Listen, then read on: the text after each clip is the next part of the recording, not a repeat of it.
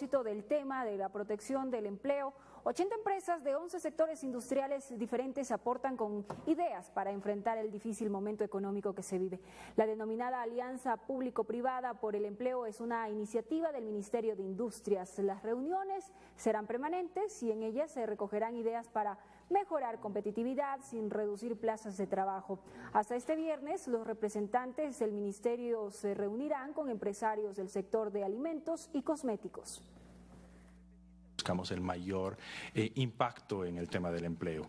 Eh, cada, cada sector tiene su propia coyuntura y hay temas en los que nosotros podemos apoyar y apuntalar la generación de empleo y la sostenibilidad de las empresas de las familias. Bueno, tenemos temas que son propia competencia del MIPRO, estábamos, eh, tenemos temas de etiquetado, tenemos temas de registros, tenemos temas de política de calidad, acceso a materias primas, que son de la mano del Estado, compra pública.